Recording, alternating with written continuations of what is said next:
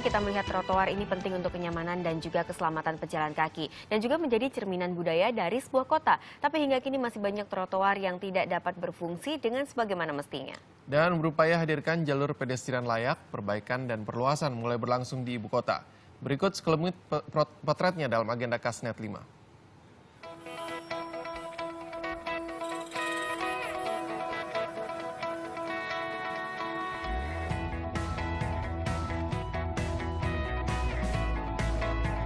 Trotoar atau jalur bagi para pejalan kaki merupakan satu sarana umum penting yang tak terpisahkan dari keseharian warga, termasuk di ibu kota. Fungsinya vital, namun banyak trotoar tak dapat berfungsi selayaknya, bahkan justru jadi membahayakan. Di antaranya arena penuh oleh kepentingan lain sehingga tak sisakan ruang bagi pejalan kaki, seperti karena penuh pedagang. Karena jalur khusus ini justru disabotase oleh pengguna kendaraan bermotor atau karena rusak, kondisi ini tentunya banyak disesalkan oleh warga penggunanya.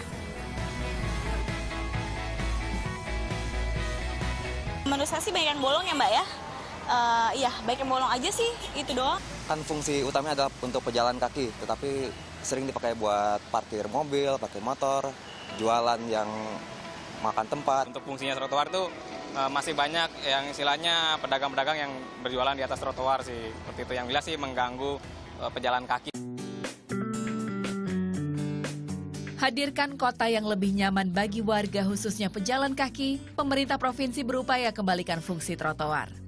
Dengan pengaturan dan renovasi, seperti pelebaran terutama untuk trotoar yang luasnya satu setengah meter ke bawah.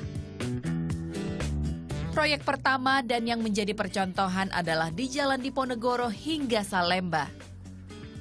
Pelebaran berlangsung karena aktivitas pejalan kaki tinggi, sementara luas trotoar tidak mumpuni. Kalau STM itu karena belum jadi. Jadi prinsip lalu lintas itu jangan sampai empat jalur, lima jalur jadi tiga jalur. Gitu. Jadi kalau mau langsung dari awal tuh berapa? Kalau dari jalan ini dua ya dua. Jadi kita mau bikin khusus, satu jalur khusus untuk masuk ke RSCM. Selain di Jalan Diponegoro, rehabilitasi dan renovasi trotoar juga sedang dan akan berlangsung di berbagai ruas jalan lain kota Jakarta. Proyek menelan dana total tak kurang 11,5 miliar rupiah. Tujuannya untuk hadirkan keamanan dan kenyamanan. Pembenahan harus tetap perhatikan sejumlah aspek, di antaranya luas dan tata letak fasilitas lain di atasnya. Secara teknis ya sebenarnya uh, penataan trotoar yang ideal ya sebenarnya tadi setelah Kanstin ini kemudian ada pohon yang besar berada di paling kiri setelah Kanstin ini yang tujuannya adalah satu melindungi pejalan kaki kalau ada uh, kendaraan yang menerobos masuk trotoar. Kemudian yang kedua kalau pohon ini nanti tumbuh sudah besar-besar maka ini akan menjadi batas wilayah zona pejalan kaki kalau ada rencana pengembangan jalan. Di tengah hiruk pikuk kota, trotoar dapat menjadi cermin pemerintah dan perilaku warganya. Itu sebabnya perbaikan jalur khusus bagi pejalan kaki ini akan makin banyak berlangsung di ibu kota.